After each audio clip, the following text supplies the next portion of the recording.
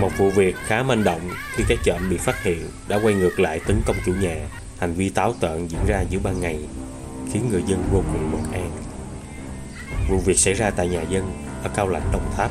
Nhóm thanh niên chạy xe máy thấy ngôi nhà mở cổng, một tên nhảy xông vào bắt trộm. Lúc này, cô chủ nhà phát hiện và chi hô nên đối tượng bỏ chạy ra ngoài. Tưởng rằng hai tên này sẽ bỏ đi, nhưng đối tượng cùng đồng bọn đã quay ngược lại, kẻ cầm đá, người cầm cây tấn công, khiến cô chủ nhà hoảng loạn, chi hô và cầu cứu. Sau một hồi giằng co, hai đối tượng leo xe bỏ chạy cùng đồng bọn trong sự bất lực của gia chủ.